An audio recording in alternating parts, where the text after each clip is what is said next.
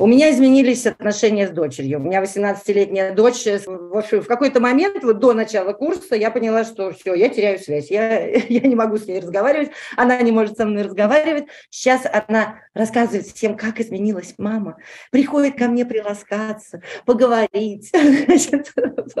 Ну, в общем, это вообще какое-то чудо. Это какое-то чудо. Мне стало прям намного комфортнее писать тексты. Почему сейчас проще писать тексты и вообще создавать ну, какое-то информационное поле? Потому что теперь понятна миссия.